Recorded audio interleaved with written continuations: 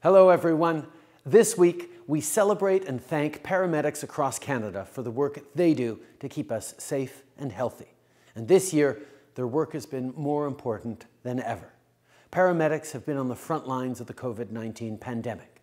They've had to be resourceful to help fight this crisis. They've put themselves at risk to help keep us safe and healthy, and they've shown incredible strength and resilience. They've had our backs in this fight and we need to continue to have theirs. That means continuing to do whatever it takes to make sure they have the supplies and equipment they need to stay safe. It also means wearing a mask, washing our hands frequently, staying home as often as possible, downloading and using the COVID Alert app, and getting your vaccine as soon as it's your turn.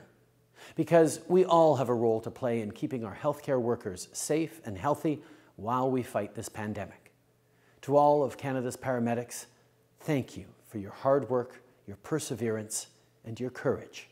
As a country, we are so grateful, and together we will finish the fight against COVID 19 and build back better for everyone. Happy Paramedic Services Week. Stay safe and healthy, everyone.